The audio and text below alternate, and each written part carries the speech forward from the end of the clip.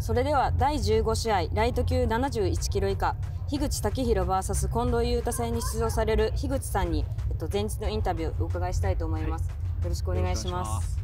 では、えっと、一つ目の質問なんですけれども、えっと、本戦が明日ということで今の率直な心境をお伺いしてもいいですか？すごく緊張してます。はいそう緊張されてるっておっしゃってましたもん。ね、はい、毎回あのちゃんと緊張するということで。そうですね僕結構緊張するタイプでただ緊張した方が力は出る方だとは思うんで、はい、はい、ちょっと緊張して、あありがとうございます、で減量あのすごく大変だったと思うんですけれどもとヤフーニュースになってましたね、はい、そうですね。まあでも意外と簡単に落ちてやり方があって、落とし方、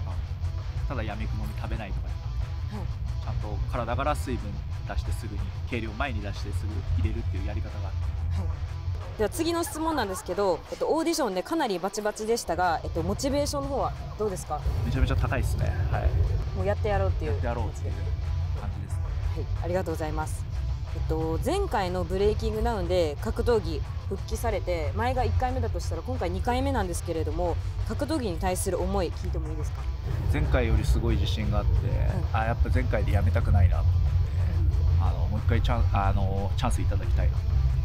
まあ、こうやってチャンスいただけたことにまず感謝しております、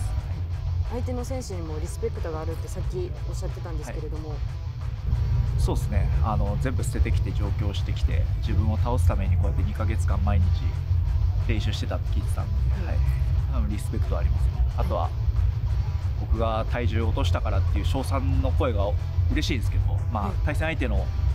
選手がねライト級で受けてくれたからこそこの対戦が実現したんでまず相手選手に皆さん称賛を送っていただけたら。